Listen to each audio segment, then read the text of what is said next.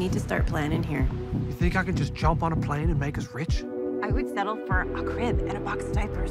Just want to be a good dad. You will be.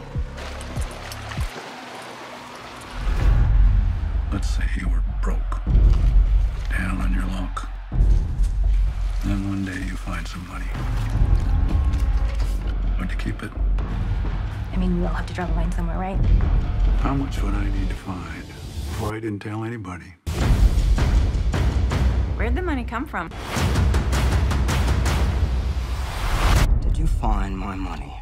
Because that's why I'm here. How common is this? Put that away.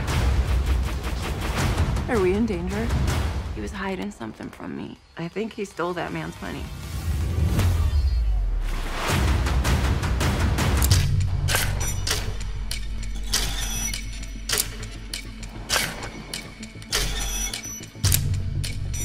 You to come home. I gotta tell you something. You're in the deep end now. I hope you can swim.